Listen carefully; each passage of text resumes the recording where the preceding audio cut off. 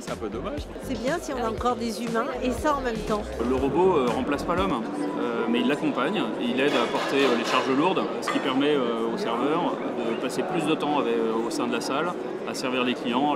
Ok pour table 3. Oui, mais ça met un environnement machine en fait dans un temps de loisir. Quand C'est- on est au restaurant, plateau, serre, table 2. Il est parti au bar là. Arrivé à Et, cacher. euh, on l'a développé avec une ergonomie, avec un son, avec euh, une identité euh, de personnage euh, qui euh, vise à être le, le plus socialement adaptable euh, dans l'environnement de l'homme. Moi, je trouve ça plutôt euh, novateur, c'est bien.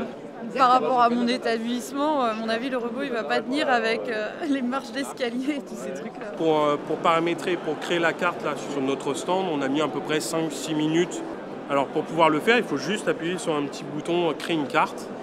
Et après, on nous dit est-ce que vous voulez rajouter des points de destination? On a juste à cliquer dessus. On positionne le robot à l'endroit. Je veux un nouveau point ici. Et euh, on vient créer, euh, on vient créer notre restaurant comme ça. Un des problèmes que la concurrence a aujourd'hui et que nous on contourne, c'est justement euh, que le- cette programmation sans code, euh, très simple, sans outils supplémentaires, sans expertise technique particulière. Ça, c'est un des défis de la robotique pour rentrer dans le monde public. Bah, c'est quelque chose qui existe depuis déjà des années au Japon. Et un de mes préférés est un des, une chaîne d'hôtels japonais qui a des dinosaures à l'accueil.